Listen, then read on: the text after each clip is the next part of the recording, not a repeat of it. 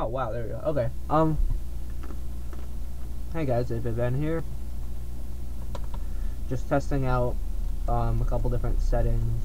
Um, right now I'm in the uh, the Syndicate Epic Seed that was made by um, FyreUK. You'll probably never see this video. That's okay. I'm just testing out some resolution stuff.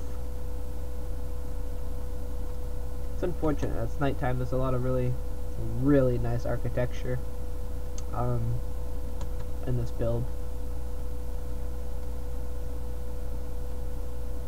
Okay. Mm, that should be about good enough. Alright.